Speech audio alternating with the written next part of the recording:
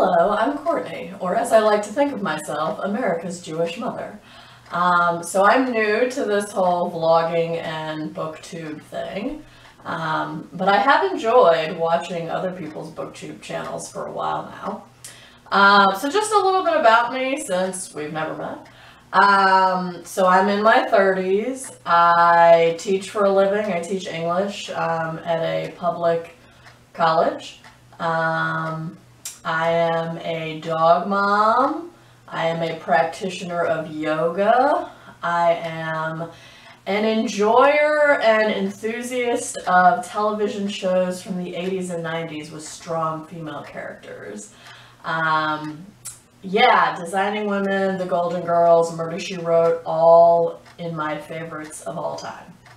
Ah, so yes, I, like I said, I am new to this whole vlogging thing, but I'm going to take you through my last week of April, um, and you will see what I do, which is not much, honestly. It's just pretty much yoga, dog-related things, um, and since we're in the last week of the semester at my school, I will be grading all of the things, so I will let you come along for the ride.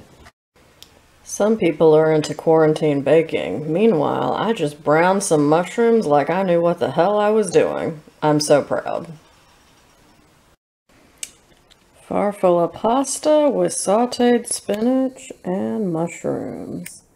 Om nom nom. Okay, so I have these two stacks of index cards. The lined ones have different increments of time. The lowest amount is 15 minutes, and then it increases in intervals of 5 minutes all the way up to 45 minutes. And then these blank ones have different styles of yoga classes on them. Vinyasa flow, warrior workout, yin, hatha, super stretch, etc. So every day I pull one from each stack and then that will tell me which style of yoga I'm going to do today. And this is in addition to doing live stream classes from M3. Um, today's Wednesday, so I'm not actually scheduled to do a live stream class today. So whatever I pull from the stack is going to be the only yoga that I'm doing today, but at least I'm going to be doing some form of yoga every day. So let us see what I'm going to have to do today. Drum roll. All right, so I will be doing a 20 minute Hatha class. Ta-da! Okay, so I'm doing 20 minutes of Hatha today. So I'm on the M3 online repository. I'm going to pick 15 to 30 minutes and I'm going to pick Hatha. And this is what comes up for me to choose. So I will pick one and get back to you. About to do my online Hatha class. And welcome to Hatha, um, which I'm calling Stepping Up. We're going to focus on the transition, the very common um, and not super um, well broken down um, transition from downward facing dog to a lunge or warrior position. Good Great one. for you if you've ever struggled uh, with that movement or if you find that movement so easy that you've um, lacked awareness through it.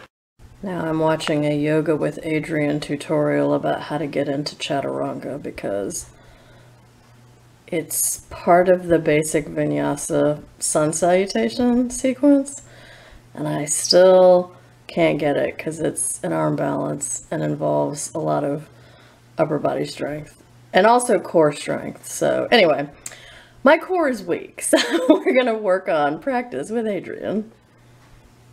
Um, chaturanga can be this sort of like panic thing for a lot of people. And so here are three things that we're going to practice today to just help build strength and integrity in the body so that we can perform chaturanga one day with ease and with a happy mind and body and heart.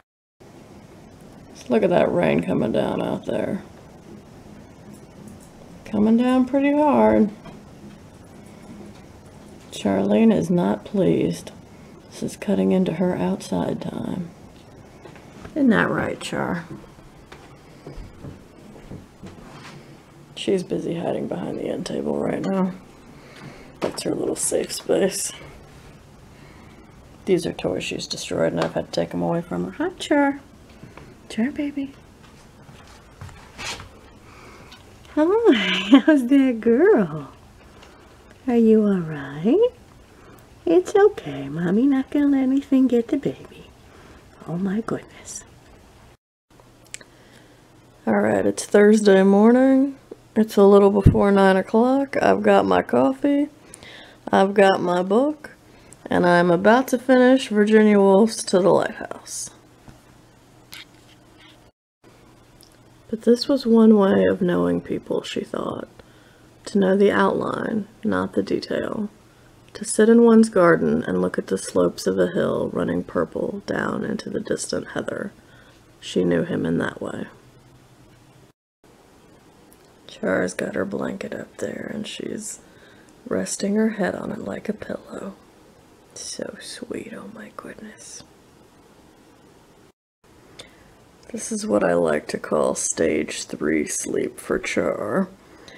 Stage one is just lying on her stomach, sort of normally. Stage two is lying on her side, and stage three is when she is really in that deep sleep and flips over onto her back and is all spread eagle, so she can be cool and comfy. Look, you can even see a, a tooth.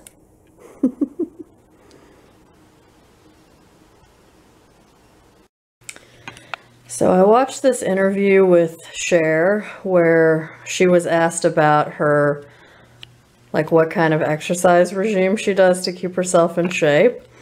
Um, and she said that every day, in addition to other things, but every day she um, tries to hold plank pose for two to three minutes, which is insane. Plank pose is plank pose is really hard to hold. So I figured if it's good enough for Cher, it's good enough for me. so um, also plank pose is good for building core strength, which I need for chaturanga um, anyway. So I am going to time myself with this stopwatch and we'll see how long I can hold plank. I've done this a couple of days now. I think the first day I held it for like 30, 35 seconds. And then yesterday I held it for 45 seconds. So I'm going to try at least to get to 45 seconds. We'll see how I do. Okay, wow, that was hard. All right. I made it to 50 seconds. This says, uh, I don't know if you can see, this. says 51 seconds, but I had to come down in the last second and hit the button, so that probably took about a second. So yay, I held it for 50 seconds and now I'm really tired. okay, and now we're gonna see what uh, what the random yoga generator system decides that I'm gonna do today. I am signed up for a live stream super stretch class from 4 to 5 today, so this will be in addition to that. Um, P.S. In case you're wondering, super stretch is basically like a hatha style of yoga, except um, hatha is more designed to strengthen and I'm pretty sure I've heard Nick, who developed Super Stretch and is the co-owner of M3, say that Super Stretch is really more designed to release than it is to strengthen. Anyway, so let's see what else I'm going to do. So for today, I will be doing 25 minutes of ugh, core or power flow. All right, so, all right, so I'm thinking that it will probably be a good idea for me to do 25 minutes of core or power flow um, before I do the super stretch class because super stretch will probably be a good way to release tension um, in whatever muscles I engage in the 25 minutes of core or power flow. So yes, I think that is my plan. Okay, so 25 minutes of core or power flow. Can probably guarantee it's going to be power flow instead of core. So I will pick uh, on the filters on the online repository 15 to 30 minutes, and I will pick, uh, let's see, power and core. Oh, wait. Yeah, alright, I think I should just pick one or the other. Alright, there we go. Uh, alright, so this gives me a handstand vinyasa flow. Uh-uh. Uh, 30 minute power flow. Ooh, Chloe has 25 minute power flow. Chloe's one of my favorite M3 instructors, so I will probably do that one. Ooh, she has two 25 minute power flows. Alright, so I'm thinking it's going to be one of those prior to the super stretch class. Look at this sweet baby. Trying to get me to fight her for the rope. Oh my goodness, you are so sweet. Look at that face. Look at that face.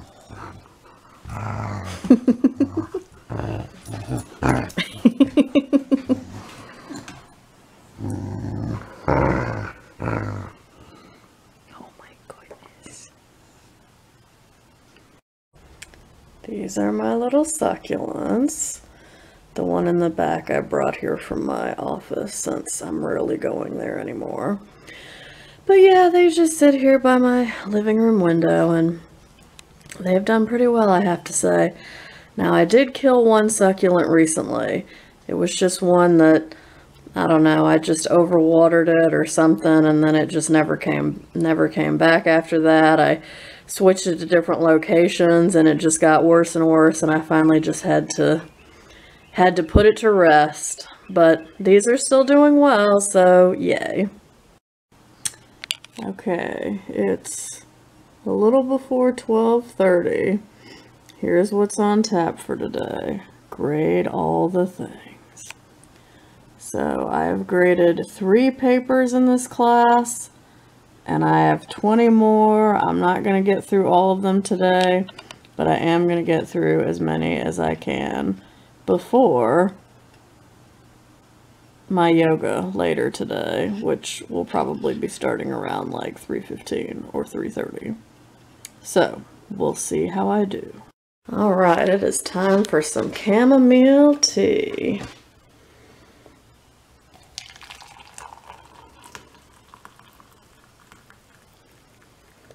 Chamomile tea is my go-to beverage of choice when I'm stressed out like I am about grading all the things right now. And, oh, wait, let me top that off a little bit. There we go. Um, and I am drinking it in my designated tea mug. I actually bought this when I, pretty sure I bought this when I visited Lindsay in Portland a couple of summers ago. We went to, I'm thinking a waterfall or something like that. Um, and I bought it from the gift shop. So yes, tea, um nom nom.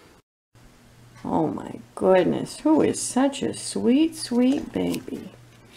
There she is, Miss Charlie. Oh my goodness, she's so ready to go outside. You want to go outside? All right, let's go. Come on. All right, it is later the same day. Um, it's almost 9.30 at night, and as you can see, I have now graded 15 papers in this class, so I only have 8 left, which I'm going to do tomorrow. Um, I did all of the yoga, Took Char on a walk. Uh, what else was I supposed to do today? Yeah, that's pretty much it. I, I did yoga, I walked the dog, I graded all the things. Oh, I still have a sink full of dishes. Hmm, gotta do those. Alright, later. Alright, I made it to Friday. Um, so, here is how I'm doing with all of the things.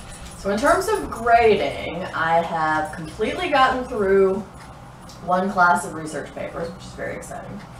And I am very close to being done with a second class, as you would have seen from the clip from last night. Um, so yes, I have eight papers left in that class. So I also have a very small class of about 10, stu- of 10 students um, who I also have research papers to grade. So, excuse me.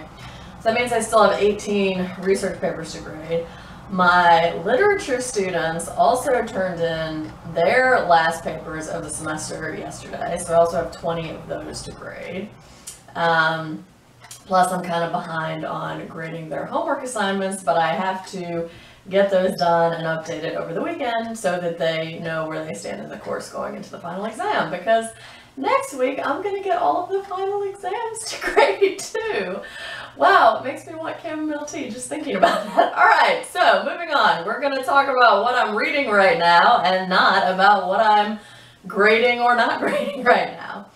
Um, okay, so I don't usually read more than um, three books at a time. I used to be very strict about only reading one book at a time, but I've since sort of um, finagled it up to three. I really like them to be, if I'm reading three books at one time, I like them to be books in separate genres like poetry and a novel and plays, or poetry and a novel and nonfiction, or, you know, some combination like that. Um, it's actually not the case right now. I'm reading all three novels, um, but they are very different, so I guess that's that's better than nothing. Um, so what I'm currently reading right now, um, and I do not have a physical copy of this book, but I will try to remember to put the title um, in the video clip. Um, it's called Strangers and Cousins by Leah Hager Cohen. Um, and this book just came out, I think, within the last year. I think I read about it in a Washington Post article or something like that, um, some kind of book review. And anyway, um, I'm only about, like, not quite a quarter into the book, um, but it's centered around uh, the gathering of a family for a wedding. Um, and the book is structured into chapters that represent five days um, before the wedding. So the first chapter is, I think, four days before the wedding, and then three days, two days the day before, and then the day of the wedding. Um, and so this family lives in this town that's in the northeast somewhere called Rundle Junction. Um, and uh, the father is Jewish, the mother is not Jewish. Um, that comes to bear somehow. um, and anyway, so they've all gathered for the wedding of one of their, I think they have five, I think they have four or five kids. I don't remember. It's definitely four or five though. Um, so anyway, so they've gathered for the wedding of one of the one of the daughters. Um, and the two parents are keeping a couple of secrets from the family, which I'm sure because of the way books go, I'm sure those secrets are going to come out at some point. Um, and I'm sure there are probably secrets that the other family members have that will also come out at some point. Um, there's also a nonagenarian aunt um, named Aunt Glad um, who has spent a lot of time thus far reminiscing on things that have happened in the past because she also grew up in that house. That house has belonged to the family for generations. Um, so I'm sure probably something will happen with her too. So we'll see. So that's uh, that's Strangers and Cousins.